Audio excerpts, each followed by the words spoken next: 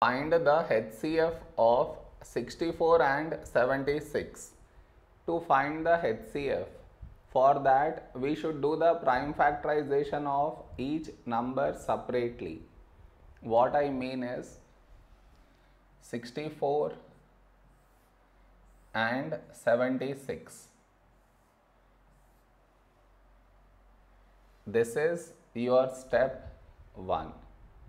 Next, in this number, last digit 4 even so take 2. First number 6 when do we get 6 in 2 table 2 3 6. The other number 4 when do we get 4 in 2 table 2 2 is 4. Now last digit 2 even so take 2. First number 3 a number close to 3 in 2 table is 2 ones 2. 3 minus 2 1 1 carried forward 12. When do we get 12 in 2 table 2 6 12. Now 16 is 2 8 16. 8 is 2 4s 8. 4 is 2 2s 4. Now 2 is a prime number so 2 ones 2. Now the other number.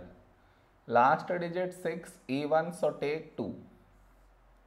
First number 7. A number close to 7 in 2 table is 2 3 6.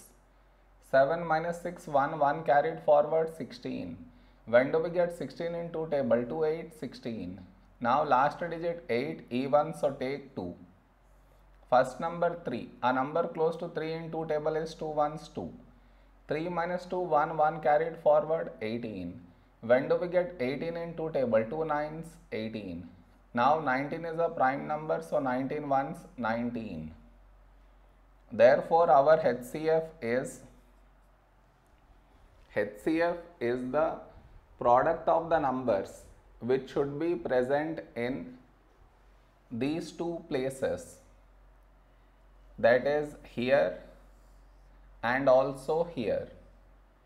Here and here. So now let us find the numbers which should be present here and here. Starting with the number 2 do we have 2 here? Yes.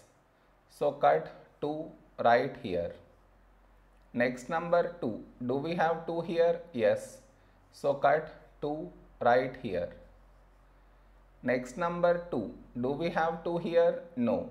Next number 2. Do we have 2 here? No. Next number 2.